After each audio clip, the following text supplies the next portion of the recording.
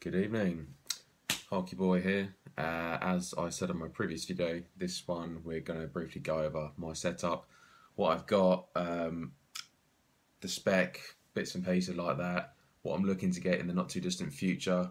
Uh, I also like some input as well in the comment section down below um, on what you guys think. I'll throw out some recommendations what I'm looking to buy to uh, obviously enhance your viewing pleasure and also to add to my uh, setup. So I've actually just broken my tripod, so um, I apologise if the video gets a bit shaky. I've uh, I'm gonna have to go and order a new one tomorrow. It's only a cheap, shitty one off eBay, but yeah, I'll probably have to invest in a slightly better one. Um, so we'll start with. Um, I'll tell you what we'll start with. We'll have a look at what the room looks like in the dark because it looks pretty sick. That is what my setup looks like in the dark. That's the best thing about Alienware. Everything has its own colour setting. So uh, you can see my uh, my dual screens there and my Area 51 underneath the desktop. The good old uh, Alienware 15 laptop, which you guys will know I've had for just about a year now. Uh, I've got the Razer setup. Basically, I've got the mouse. I've got the uh, the Black Widow keyboard. You see that the WSD in blue there, so it's good for me to go in the dark. The mouse mouse set to breathing. Um, we will I will customise all the colours. I mean, I've got a thing for blue and green at the moment, but I want to get all Hulky Boy colours, so we're having the, the green Hulk colour. But yeah, it looks pretty uh, looks pretty sick in the dark, to be honest. So um, yeah, we'll put the lights back on, and I'll just quickly go through everything we've got. So we'll start off with what everyone knows. Like I said, I apologise if the video is shaky. I'm not using the tripod, I'm just carrying it around. Uh, the Alienware Area 51, as you well know, uh, 16 gig of RAM, i7 4710HQ 2.5 quad processor. Um, it's got a 256 gigabyte SSD and a one terabyte data drive, which you can see there.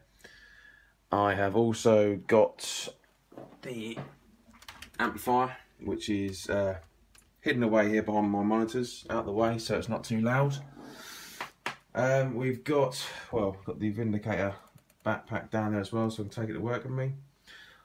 I've got dual HD Asus screens, a lot of Razer Edge ones. Um, all I can say is since I've swapped to dual screen monitors, I, I don't know how I, I managed to live without them. It's brilliant because you can literally stream on one, you can game on the other, YouTube and one while you game. It's, it's brilliant. So I always I would always recommend now to get dual screens if you can if you can stretch them.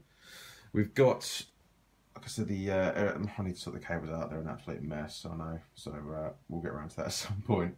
Yeah, the Area 51, um, my newest addition to the uh, setup. I haven't really scratched the surface on what this can do and, and tried it and tested it out, but I'll just quickly go through the spec here for you.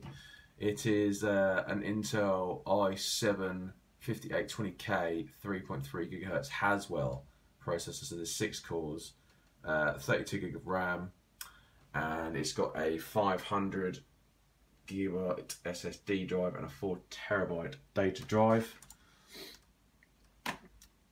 Dual screens, man, love it.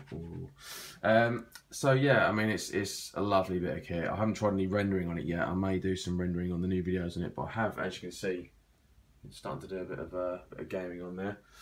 Uh, which moves me on to the Razer Black Widow keyboard. Um, I must say, even though it's quite expensive, about £100 or £150 thereabouts, but it is, if you can just hear that, it's like a full mechanical keyboard. You can customise every single light on it to be a different colour. I mean, I've just done the WSD, like I said, in blue. So when I'm gaming, it's easier for me to do it in the dark.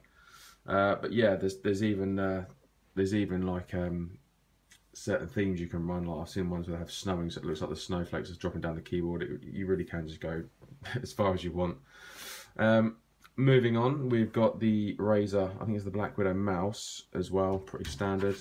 Like I said, I've just left it on the basic. I haven't tried anything else with the colours on there, but it's it's very sensitive, and I you know I've got no complaints of it yet, to be honest.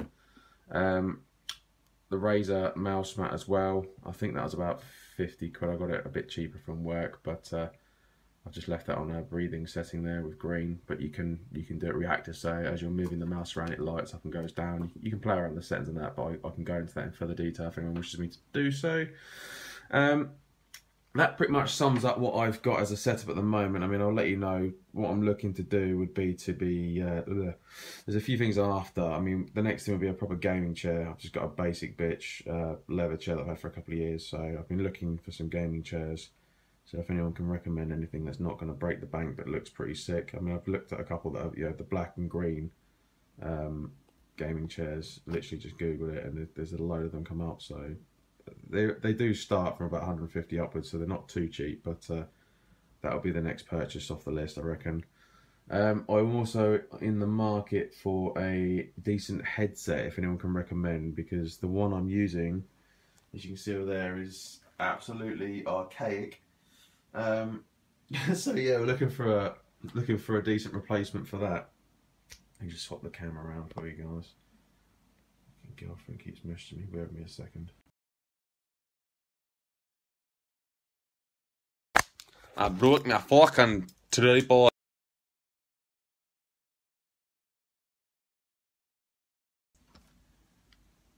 Bloody tripod, we're on the piss a bit.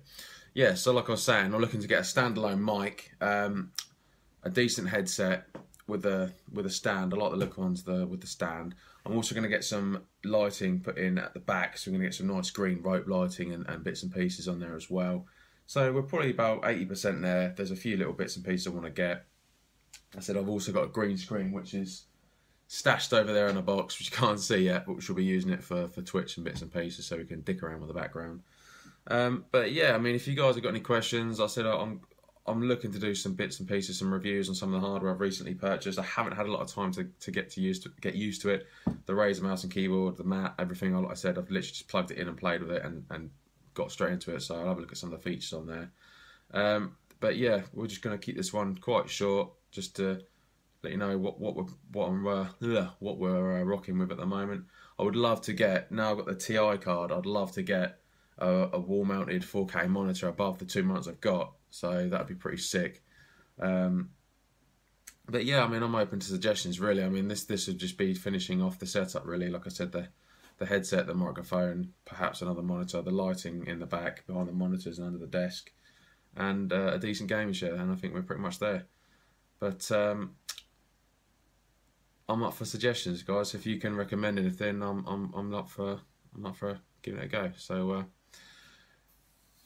don't forget to uh, if you like the video, don't forget to like it, subscribe if you haven't already. I do appreciate all the support.